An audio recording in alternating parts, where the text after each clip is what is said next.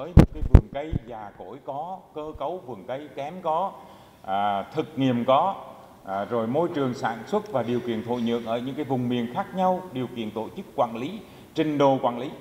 ừ, của các đồng chí thì, thì vẫn hoàn thành được cái kế hoạch mà của tập đoàn giao năm 2021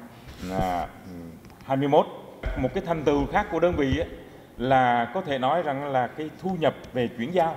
à, với cái doanh thu là trên 49 tỷ à, trong cái các cái lĩnh vực về sinh lý khai thác bảo vệ thực vật nông hóa thụ nhượng giống công nghệ cao khuyến nông thì phải phải nói rằng là cái quá trình chuyển giao kỹ thuật đối với các đơn vị theo tôi là một trong những nhiệm vụ trọng yếu của Viện Nghiên cứu Cao su Việt Nam trong năm 2022 và những năm sắp tới. Thành thử tôi nói với anh là khi mà chúng ta đủ mạnh dạn, đủ tự tin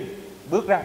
thì khẳng định sẽ làm được. Và cá nhân tôi này còn ở trong ban lãnh đạo tập đoàn còn ở đây à, có anh Tiến Đức nữa à, trên đây thì ở đây thì chúng tôi sẽ theo dõi đồng viên hỗ trợ một cách cụ thể bằng công việc cụ thể bằng lời nói cụ thể và bằng cái kết quả báo cáo với các anh cụ thể. Chứ không không phải nói suông ở trên diễn đàn như thế này. Thì chính vì vậy có thể nói rằng là tại cái diễn đàn này à, một lần nữa thay mặt lãnh đạo tập đoàn công nghiệp cao su Việt Nam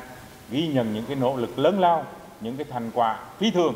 mà của bộ máy lãnh đạo à, là đơn vị. Là về phía chúng tôi thì cũng ghi nhận những cái cái ý kiến kiến nghị và những cái điều phát sinh mới nằm ngoài văn bản trong hội nghị này. Thì từ đó chúng tôi sẽ khẩn trương báo cáo trong cái phiên làm làm việc sớm nhất của lãnh đạo tập đoàn nhằm tháo gỡ cho các đồng chí trong các cái mục đích à, là